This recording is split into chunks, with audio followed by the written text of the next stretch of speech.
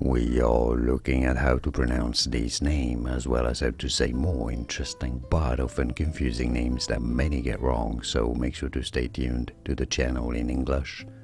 This is generally pronounced as Ulla, Ulla. In some countries, it is also said as Ulla, Ulla, Ulla. And but in English, Ulla. And now you know.